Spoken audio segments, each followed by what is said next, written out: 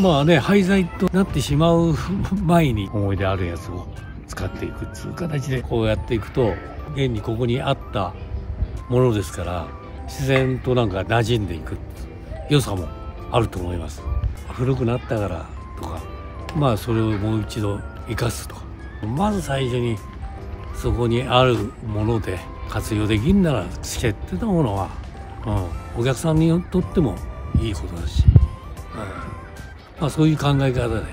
基本的にやってます。はい